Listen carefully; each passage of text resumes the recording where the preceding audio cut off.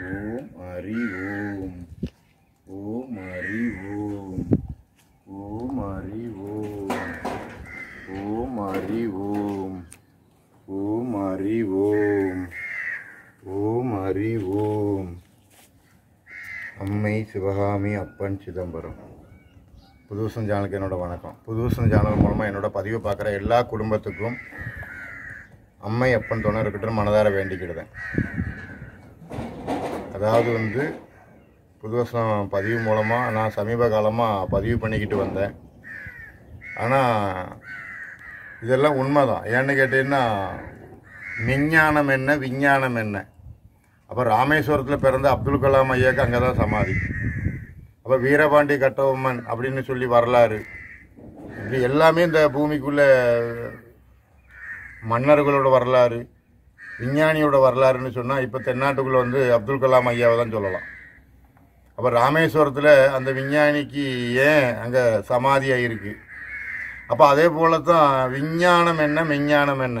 அப்போ விஞ்ஞானம் தான் பெருசு பெருசு அப்படின்னு சொன்னால் நான் பேசிட்டு வந்தது உண்மை தான் எனக்கு என்ன உங்களை மாதிரி சாமானிய ஆட்களுக்கு தான் புரியாது அப்படின்னு சொன்னால் உலகத்தில் உள்ள வல்லரசு நாட்டுக்கு தெரியும். ஏன்னா வேர்ல்டு யோகா டே இப்போ வேர்ல்டு யோகி டே வேர்ல்டில் வந்து எல்லா மனிதனும் யோகி. அதாவது எல்லாமே தூய்மையாக எப்படி இருக்கணும்? ஒரு தூய்மையான ஒரு ஆலயத்துக்கு போனது எப்படி? இப்படி எல்லாமே இப்போ நடந்துக்கிட்டு இருக்கு. அப்போ நான் பழனி மலைக்கு போனால் விபூதி வாங்காதீங்க. குங்குமம் சந்தனம் தான் பழனி ஆண்டவனுக்கு பிரசாதம் அப்படின்னு நான் சொல்லியிருந்தேன். ஆனால் இப்போ பழனி மலையில் குங்குமம் தான் கொடுக்குறாங்க.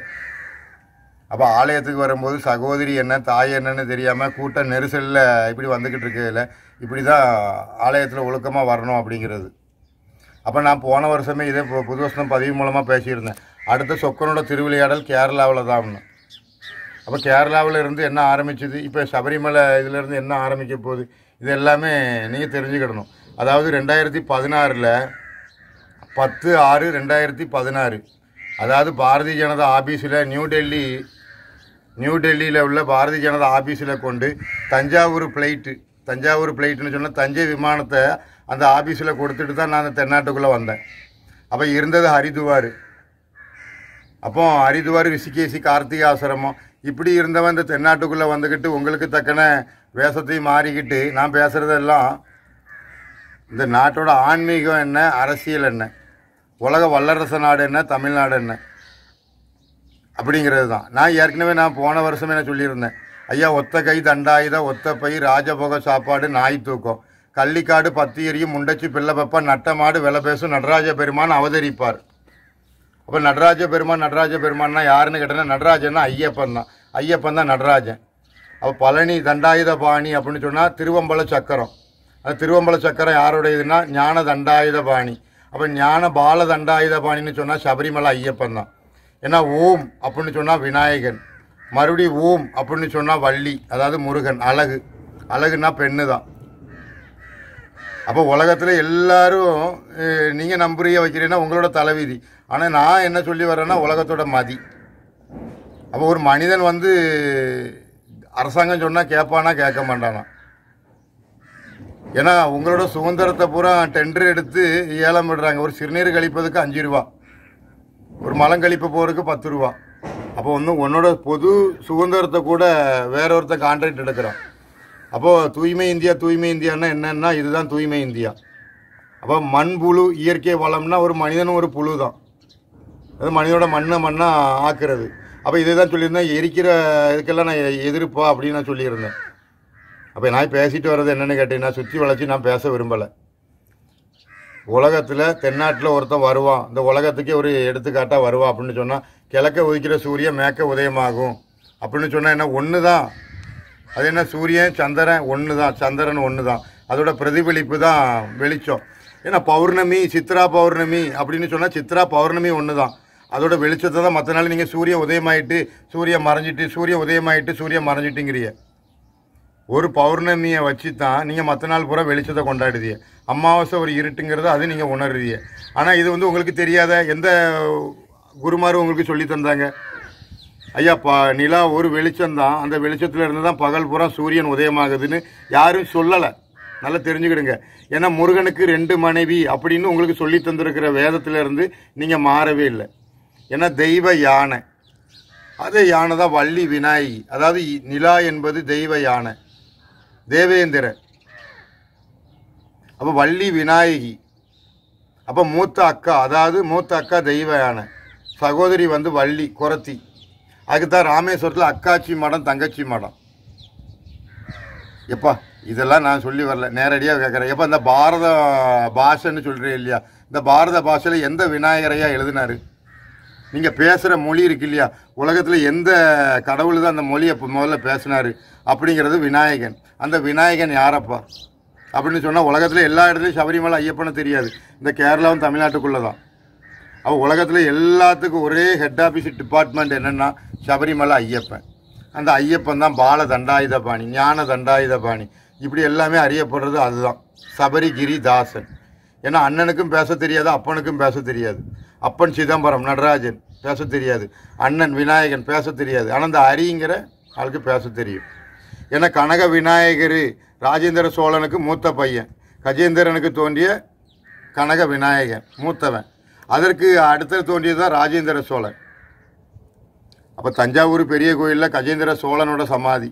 இப்போ காஞ்சிபுரம் வரதராஜ பெருமாள் கோயிலில் ராஜேந்திர சோழனோட சமாதி. உலக அளந்த பெருமாள். ஏன்னா மாவேலி சக்கரவர்த்தி அப்படின்னு சொன்னால் சோழ மன்னன். வாமன அவதாரம் எடுத்தது ராஜேந்திர சோழன். இது எனக்கு தெரியும் அப்படிங்கிறது உண்மை.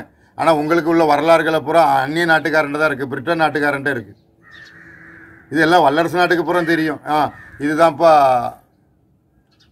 இந்த முக்கோணத்துக்குள்ளே ஒரு கண் அதை நீங்கள் என்ன சொல்கிறீங்க எலிமினாட்டி ஏன்னா இயேசுநாதர் சிலுவையில் அரைஞ்சவங்க தான் நமக்கு சொல்லி தந்திருக்குன்னா அந்த அரைஞ்சவங்க தான் இங்கே உடம்புகளை பூரா எரிச்சுக்கிட்டு அலைகிறாங்க அன்றைக்கி இயேசுநாதர் சிலுவையில் அரைஞ்சாங்க. அப்படிங்கிறதுக்கு ஒரு கதாபாத்திரம் உருவாக்குனது இந்த உடம்பை எரிக்க சம்மந்தப்பட்டது தான். நீ ஒரு உடம்பை எரிச்சிட்டா ஒரு சிலுவையில் அரைகிறதங்காட்டி ரொம்ப கொடூரமான செயல் தான் செய்கிற அப்படிங்கிறது தான். ஏன்னா திருச்செந்தூர் செந்தில் ஆண்டவன் ஐயப்பன் எல்லாம் ஒரு பொதுவான ஒரு கடவுள். ஏன்னா மதி ஒன்று தான் அந்த மதியை வச்சுட்டு நீங்கள் ஏன் மதி கெட்ட மாதிரி வாழ்றீங்க? அப்படின்னு பல முறை நான் பதிவு பண்ணியாச்சு. இப்போ இந்த நாட்டை ஆள்றது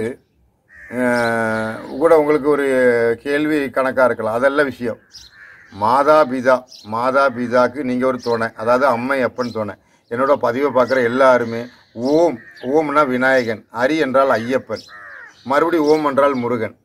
அப்போ மும்மூர்த்தி கடவுள். அப்போ விநாயகி விநாயகன். அப்படின்னா வள்ளி விநாயகி தெய்வ யானை. ஓம் ஹரி ஓம் இந்த ஹரின்னு சொன்ன ஐயப்பன் இதை வந்து ஒவ்வொரு குழந்தைகளும் இதை உச்சரிக்க ஆரம்பிச்சிட்டாலே அவங்களுக்கு வந்து கடவுளை பற்றி யாரும் சொல்லிக் கொடுக்க வேண்டிய தேவையில்லை.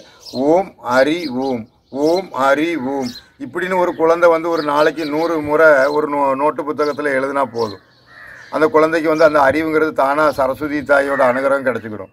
ஏன்னா அரி அரி அரின்னு அந்த அரியை தான் நம்ம தீட்டணும். அப்போ வா சிவாய நம வா நமச்சிவாய வா சிவாய நம வா நமச்சிவாய. இது ஓம்ல இருந்து முத பிரியிற என்னன்னா வா. அதுல இருந்து வர்றதா சி வாசி அப்போ ஒவ்வொரு மனிதனோட மூச்சு காத்து இந்த அண்டத்தில் கலந்துருக்குன்னா ஒவ்வொரு விதையா வந்து நீ முளைச்சிக்கிட்டே இருக்கிற. அப்போ நீ விட்ட வார்த்தையை தான் மறுபடியும் சுவாசிக்க போற. அதான் நன்மையை நினை நன்மையை செய். ஏன்னா கடமை கண்ணியம் கட்டுப்பாடு. கட்டுப்பாடு முதல்ல. க கட்டுப்பாடு தான் முதல்ல. கண்ணியமாக கடமையை செய். அப்போ கடமை கண்ணியம் கட்டுப்பாடு. கட்டுப்பாடோட கண்ணியமாக கடமையை செய்யணும். இப்போ எல்லாரும் அவங்கவுங்க கடமையை செஞ்சுக்கிட்டு இருக்கிறாங்க. அப்போ இந்த புதுவசனம் பதிவு மூலமாக நான் பேசிக்கிட்டு வந்தது என்னென்னு கேட்டீங்கன்னா எப்போ அங்கே வாங்க? உங்கள் ஆன்மீகம் உங்கள் புராணத்துக்கெல்லாம் நான் வரல. இந்த தமிழ்நாட்டுக்குள்ளே இருக்கிற ராஜகோபுரங்கள் இருக்கு இல்லையா? அது சம்மந்தப்பட்டது ஆன்மீகம்னா யார்? ஆன்மீகத்தோட ஆதி. ஆதி பகவான் பகவதி. அதுதான் பகவத்கீதை. அப்போ பாரதம் எழுதினது பசும் பொன். அதான் பசு என்றால் தாய் கோமாதா நிலா. பொண்ணு என்றால் அப்பன். உலகத்துக்கே வெளிச்சம் கொடுக்குற பொண்ணு அதான் பசும் பொன்.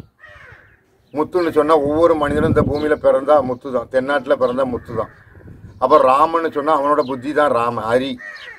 அப்போ முத்து ராமலிங்கம். அப்படின்னு சொன்னால் ஒவ்வொரு மனிதனும் இங்கே சகோதர சகோதரிகள். அப்போ பாரத எழுதிய பசும்பொன் முத்துராமலிங்க விநாயகன் என்ற கண்ணன். ஏன்னா விநாயகன் விநாயகன் தான் நீங்கள் கும்பிட்டுருக்கீங்க தவிர விநாயகின்னு கும்பிடலை. தயவு செய்து உங்களோட புத்தி அந்த புத்தி யாருன்னு கேட்டிங்கன்னா மதி.